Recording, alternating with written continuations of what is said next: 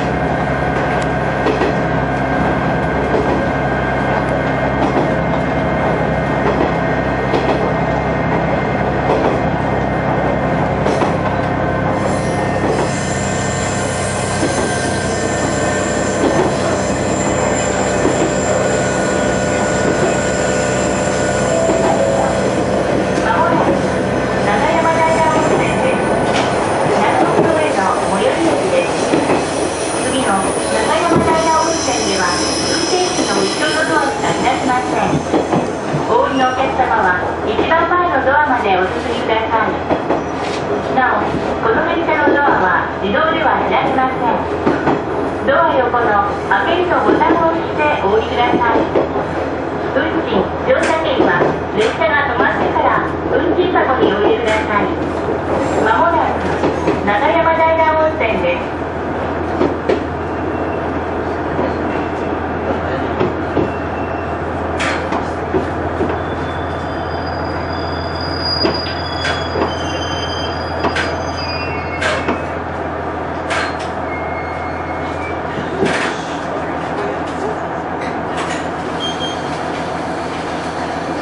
前の車の後ろ側のドアだけが開きますドア横の開けるのボタンを押してお乗りになり整理券をお取りください。金城行きワンマンカーです。